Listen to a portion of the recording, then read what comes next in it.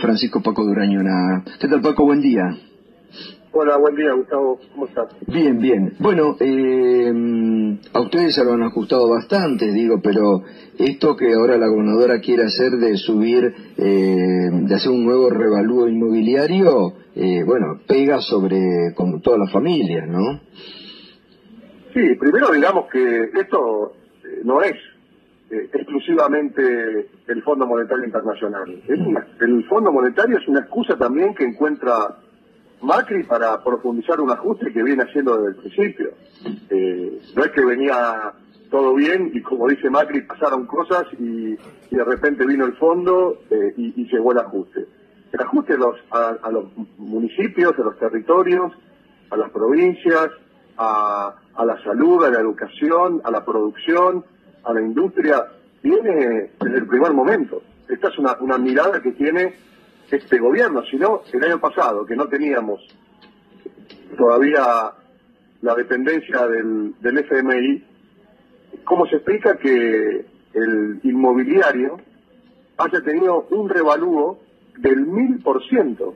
Porque nos olvidamos de esto. Este año aumenta un 38%, pero el año pasado hubo un revalúo que aumentó el valor de los inmuebles urbanos y rurales en la provincia de Buenos Aires 10 veces y sobre ese aumento del mil por ciento le hizo el aumento del, del impuesto. Es decir, que eh, el, peso impositivo que viene echando la provincia sobre las espaldas de cada una de las familias de los municipios de la provincia de Buenos Aires no es nuevo por el Fondo Monetario Internacional. Mm. Lo que están haciendo es quitarle los recursos del bolsillo a la gente, a los jubilados, a las familias, a los productores, a los municipios, quitándole esos recursos y tirándole sobre sus espaldas gastos que históricamente estaban en manos del Estado federal. Para poner de, rodillas y condicionar a la política para eh, seguir aplastando el, desarrollo de, nuestro país, seguir bajando el consumo, enfriando la economía. Esto es lo que estamos viviendo en, la Argentina del 2018. Ahora, eh, ¿qué tal Paco David Cufre? Buenos días.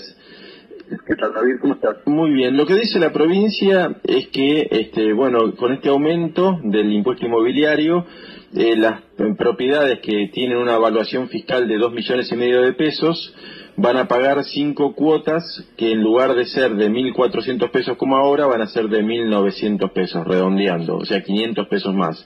Entonces le dicen, bueno, no es tanto. Ellos lo que argumentan es que, el, digamos, el aumento en porcentaje es fuerte, pero en, el bolsillo es menos, digamos, de 1.400 a 1.500 una propiedad que vale 2 millones y medio que este, en la evaluación fiscal que no es, no es mucho, ¿no?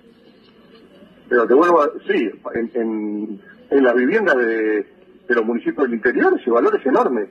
El, valor fiscal de una vivienda que vos recién ponías como ejemplo de 2.500.000 pesos, el año pasado, a principio de año, antes del, del, presupuesto y, fiscal del año 2017, estaba valuada, valuada en 250.000 pesos. O sea, en un año pasó de 250.000 a 2 millones y medio y sobre ese aumento le, pusieron un impuesto que ya de por sí también tenía un aumento. Y ahora, por si fuera poco, eh, aumentan un 38% a, a, a, las viviendas de las familias que, viven en, en, los territorios del interior, 2 millones y medio, 3 millones, 4 millones de valor de una casa para pagar impuestos en, en la provincia de Buenos Aires, es altísimo. Eh, uno podría entender que eso es una necesidad vinculada con eh, la capacidad que tiene una familia por el valor de su vivienda. Pero eso en, tanto y en cuanto uno pudiera percibir que la gestión en la provincia de Buenos Aires se está desplegando, que hay más acceso a la salud, que la educación está funcionando bien, que se están construyendo escuelas, que están haciendo obras de infraestructura, acceso a las cloacas, al agua corriente, pavimento urbano. Pero todo esto está ausente de la agenda de la provincia de Buenos Aires.